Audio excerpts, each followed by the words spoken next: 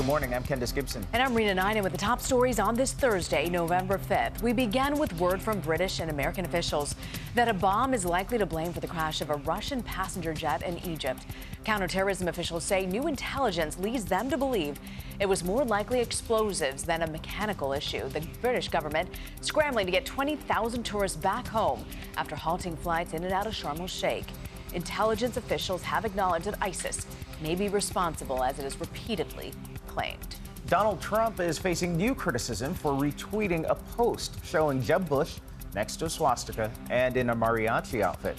Trump deleted the tweet, claiming he did not see the attached images. This latest incident further angering Hispanic groups who are pressuring NBC to cancel Trump's appearance on Saturday Night Live. The two men will face off again next week in the fourth GOP debate. Senator Bernie Sanders offering legislation that would end the federal ban on marijuana. The Democratic presidential candidate's Senate bill would repeal federal penalties for possessing and consuming cannabis.